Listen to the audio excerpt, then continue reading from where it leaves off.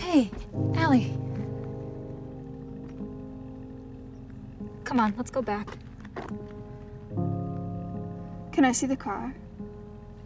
The song Time, that song specifically revolves around the feeling of hopelessness and feeling like you're stuck in a certain period of time and you see everything else passing you by, but you're not moving with it.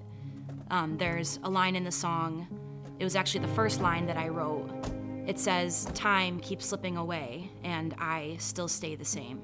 And that built essentially what the song would become a feeling of, I can see so much happening around me, and I am trying so hard to do what's right for me, and no matter what I do, I'm not moving with the world around me. That song reflects that feeling in Ali's life, where the only thing she has to go off of is the healing that is necessary for her to feel whole again. And she's not sure which path she's supposed to take to get there. I've been searching high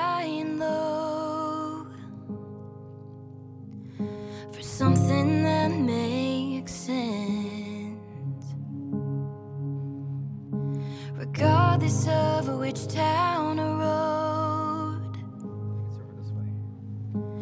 I can't find my innocence. What means the most to me, I think, is how beautiful the process is of somebody, in this case me, creating something out of a painful situation and it's being turned into something so amazing. And that makes the whole process worth it. It's it's really about seeing. I think this is I mean relatable to all creatives. Those ideas they come from somewhere. They come from experiences. They come from what you see other people go through, what you go through personally. And you're taking those experiences and using them for a greater purpose.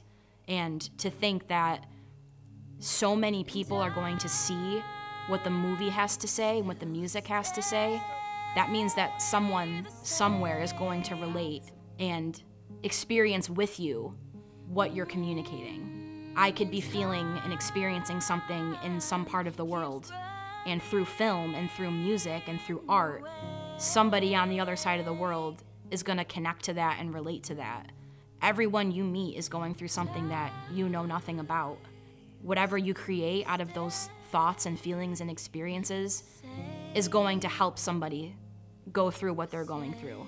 And getting those messages to especially target audiences is so important, especially with a movie like this that discusses mental health and the importance of the things going on inside someone's body that other people can't necessarily see, that they're just as important as physical injuries.